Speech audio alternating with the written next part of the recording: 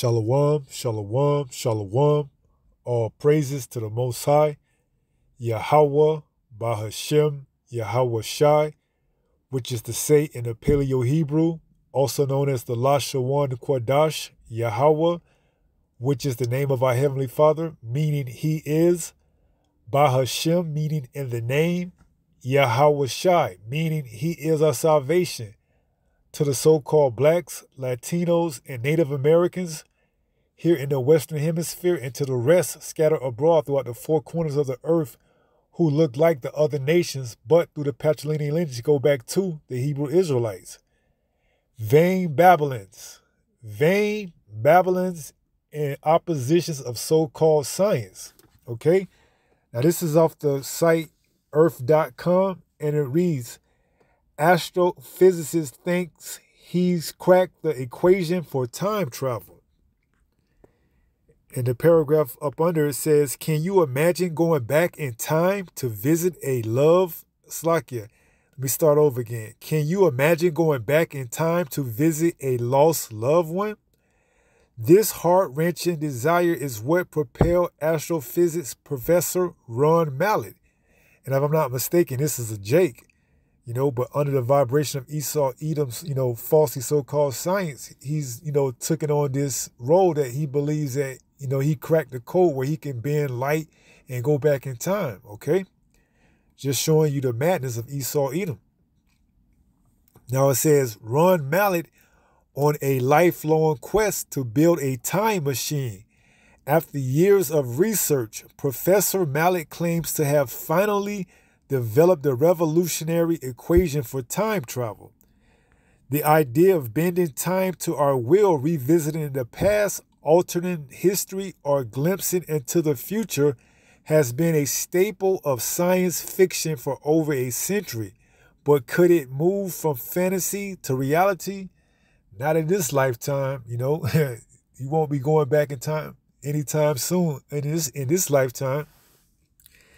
Now, if you are a Jake, which I believe you are, you know, you can, if you repent from these teachings of Esau Edom, you know, you can get that new body where you could travel to, you know, different uh, galaxies and, you know, planets and things of that uh, nature, pursuing the St. John 14 and the second verse in my father's house of many mansions. But under this current, you know, ideology and science of Esau Edom, you're not traveling in time and you're not going back in time and altering history or anything like that, okay? Now it says the idea of bending time to our will, revisiting the past, altering history, or glimpsing into the future has been a staple of science fiction for over a century. But could it move from fantasy to reality? Nope. The inspiration, a father's love in a classic novel, Professor Mallett's obsession with time travel and his equation has its roots in a shattering childhood experience. When he was just 10 years old, his father, a television repairman who fostered his son's love of science, tragically passed away from a heart attack. Okay? And you need to get, you know, solace from reading the book because it tells you, you know, these things are, you know, are are of prophecy, you know, you you come back in the third and fourth generation, okay? So, you know, if he knew that his father, you know, heart attack was brought on by, you know, judgment that, you know, he made did in his past, you know, incarnations, then he would have more, you know, solace outside of looking into science fiction novels and books and things of Esau Edom, okay? because Esau Edom is not giving him, you know, complete clarity on why things happen like this. Okay, that's why he's under the impression that he can build a time machine and go back in time to save his father. All right. It says, devastated, the young Mallett sought solace in books. It was H.G. Wells' The Time Machine that sparked a lifelong fascination. Wells' opening lines became his mantra Scientific people know very well that time is only a kind of space. And why cannot we move in time as we move about in the other dimensions of space? We're going to get that in the scriptures. This profound question ignited Mallett's, Mallett's scientific journey. He dedicated himself to understanding the nature of time, determined to find a way to revisit the past and see his beloved father once more. Okay? And, you know, like I said, I believe this, you know, I believe this man is a Jake, you know, and if he repent, you know, and turn back from his wicked ways under this, you know, vibration of Esau Edom, you know, he can he, he can bring back his father in the kingdom, okay? So this time bending, alter, you know, science, scientific science fiction novel that he read and this title that Esau Edom gave him, you know, as an astrophysics, you know, that's all to throw you off, okay? Repent, you know, leave these uh, vain babblings and these opposition of so-called science alone, man, because Esau Edom, you know, his science ain't, you know, ain't kicking on anything, all right? It says decades of research into black holes and Einstein theories of relativity led to the time travel equation. While hospitalized, while hospitalized for, for a heart condition, Mallett had a revelation. It turns out that black holes can create a gravitational field that could lead to the creation of time loops that could allow us to go back in time, he explained. Right, and you're not going back in time or anything in these bodies that we currently have right now, okay? Like I said, I believe this guy's a Jake, you know, and if he repent, you know, he get transformed in a twinkle of an eye, pursuant to uh, 1 Corinthians 15, right around, right around the 50th verse, you know, he can get those new bodies where he could travel to other planets and galaxies, okay? But in this current body that we have right now, you're not traveling and going back in time or anything like that, okay? It says, imagine the fabric of space-time as a river. While time usually flows in one direction, Mallett theorized that the immense gravity of a spinning black hole can create whirlpools where time twists back on itself. Okay? Mallett's vision for a time machine centers on what he calls an intense and continuous rotating beam of light to manipulate gravity. His device would use a ring of lasers to mimic the space time distorting effects of a black hole. Let's say you have a cup of coffee in front of you. Start start stirring the coffee with a spoon, it starts to spin right. That was that's what a spinning black hole does, explained Mallett. In Einstein's theory, space and time are related to each other. That's why it's called space time. So when the black hole spins, it will actually cause time to shift.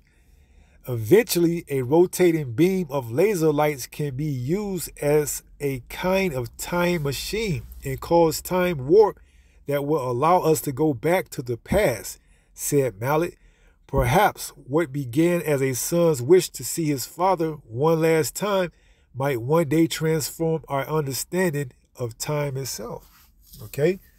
And like I said, if he had understanding of the scriptures, he would have solace to know that, you know, his dad came and that was his judgment, you know, and it played out, okay?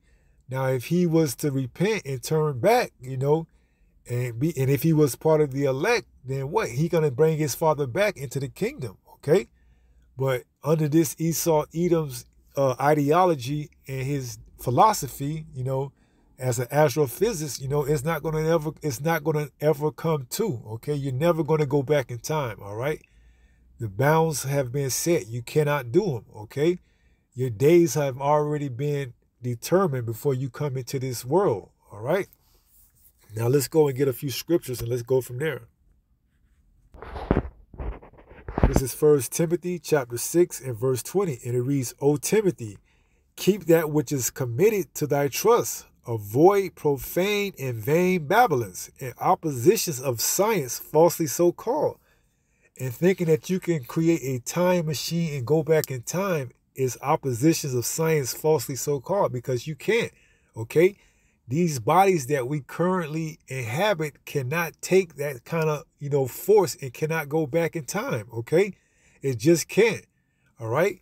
And although you have, you know, gained a lot of notoriety in Esau Edom's kingdom and you have these prestigious titles like astrophysics, it doesn't, you know, it doesn't uh, omit you from, you know, it doesn't omit you or, you know, allow you to not, you know, feel the effects of the things that the Most High have put into place already, okay? And you cannot and you cannot outdo the days that the Most High have already set aside for you. All right. Now this is uh let's go to Job 14 in verse 5. It says, Seeing his days are determined, the number of his months are with thee. Thou hast appointed his bounds that he cannot pass. Right. So you cannot go back in time just to try to save your dad or try to alter history or try to prolong your days. You cannot. Your days are already set. You know, and speaking of Esau Edom, his days are set as well, okay? You cannot go back in time, no matter how Esau Edom puts it in movies and give you these prestigious, you know, titles and write these great novels that can have you to believe that you can go back in time you cannot go back in time, okay? Your days are already set, all right? It says, seeing his days are determined, the number of his months are with thee. Thou has appointed his bounds. And when you go into that word bounds, one of the outline biblical usage is, you know, limits, okay? So seeing that, so that, let's start again. Seeing his days are determined, the number of his months are with thee. Thou hast appointed his bounds that he cannot pass. Okay? So you cannot go back in time to try to, you know, bring back your father, or you cannot go back in time to try to, you know, do something that you could have did to help prolong your days on this earth because your days are already determined, all right? And you cannot go back in time to, you know, change those.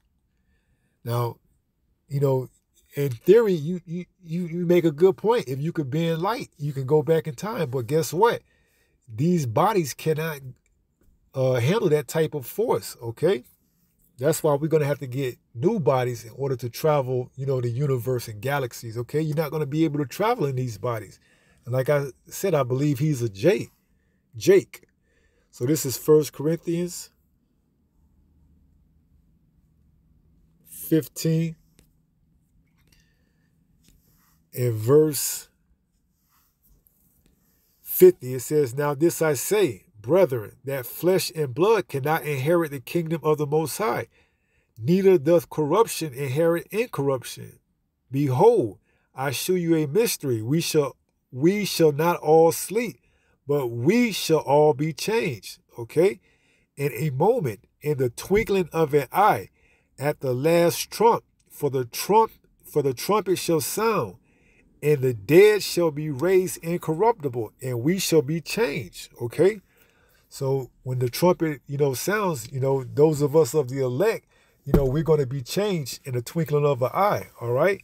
And with these new bodies that we're going to get, we can, you know, time travel, as you were to say. We can go into different planets and galaxies. We can do things that these bodies that we currently inhabit that's that cannot do because why? They have limitations to them. They have bounds. Okay. So the fact that you try to go back in time, you know, is going against the word, okay? And that's exactly what Esau Edom wants you to do. He wants you to, you know, think that you can, you know, outdo what the word, what prophecy says, what, what you can't. All right.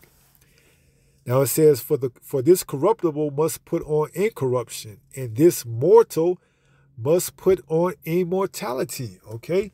When we get the new bodies, when we change from mortal to immortal, we can do those type of things. We can go and travel in outer space, okay?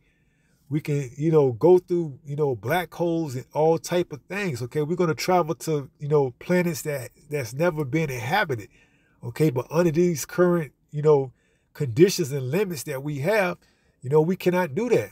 No matter how many books you read, no matter, you know, how many ideas and, you know, theories you come up with, these bodies are not going to be able to play him out with, okay? That's why we said avoid profane babbling in opposition of so-called science, falsely so-called science, okay? Because although he has those prestigious titles, he has no idea, clue what's going on, all right? Job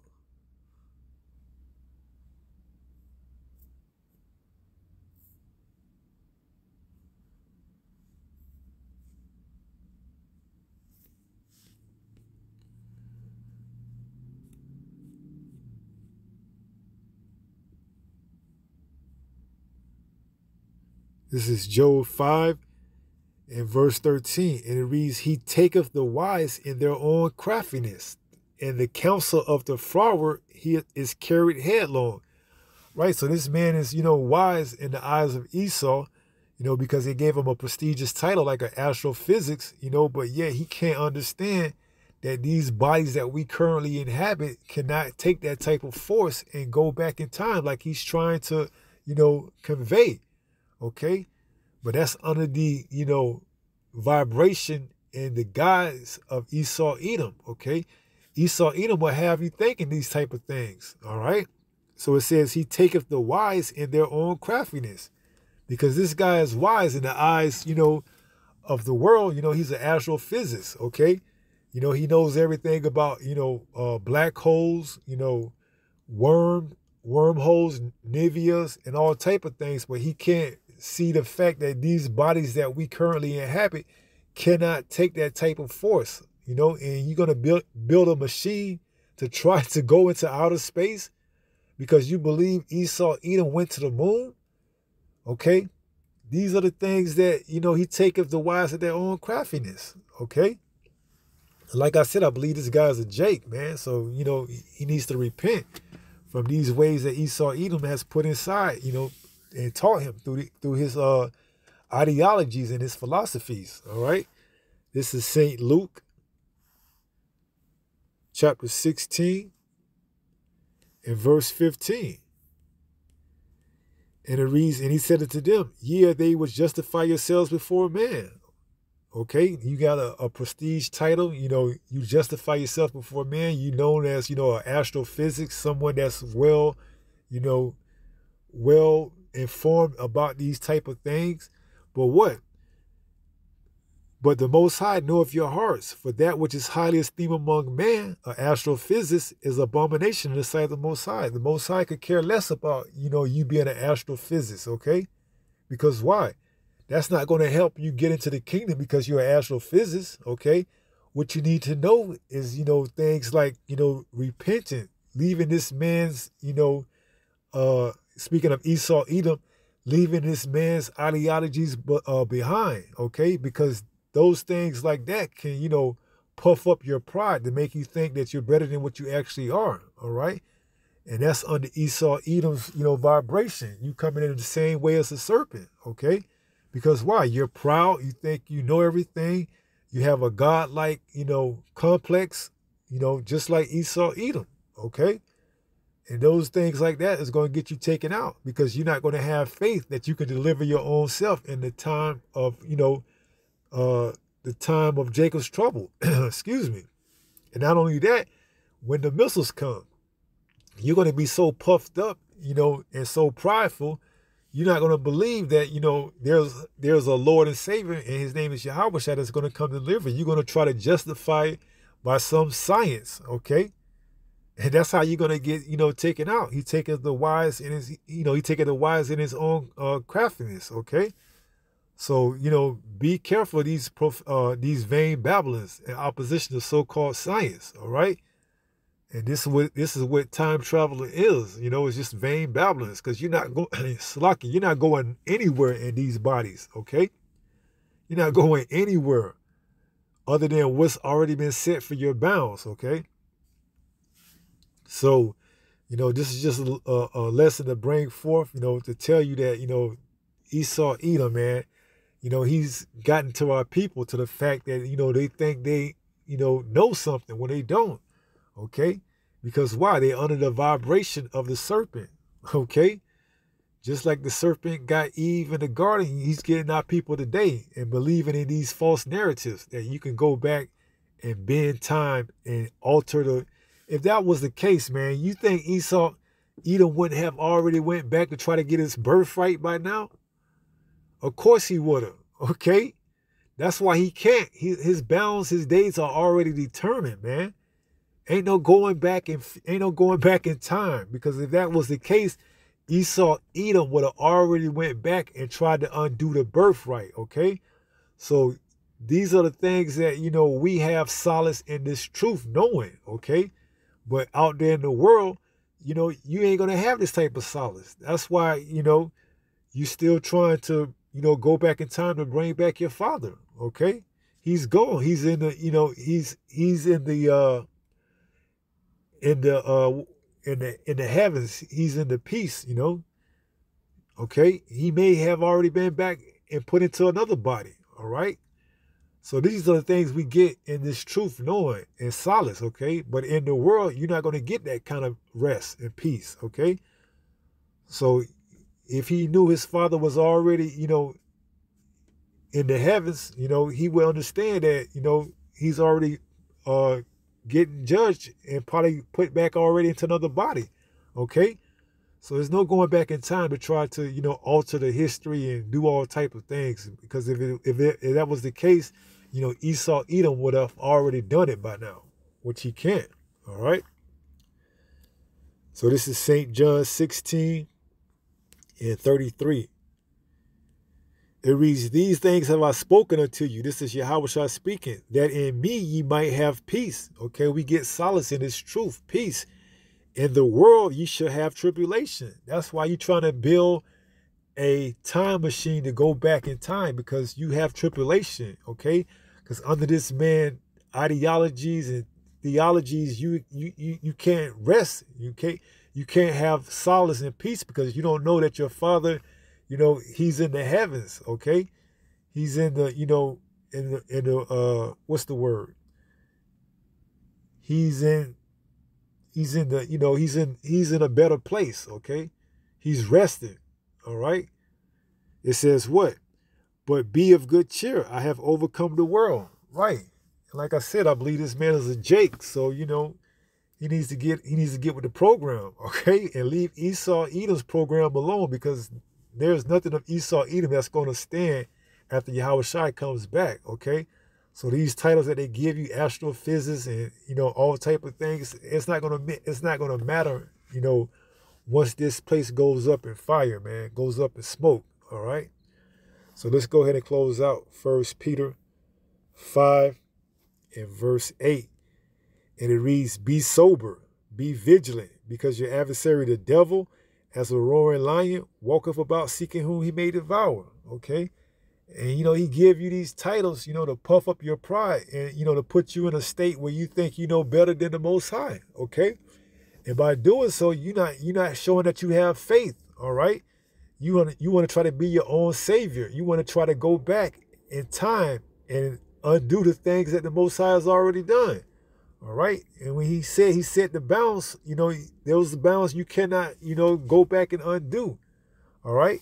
No matter how wise you think you are, you can't outwise the most high. Okay. He taketh the wise at their own craftiness. All right. So leave Esau, Edom, so-called science alone, which are vain babblings, you know, and get into this truth. All right. So with that being said, I pray someone was edified through this lesson. And until the next time, if it be the good Lord's will, stay strong, stay in the faith. We almost home. Shalom. Peace.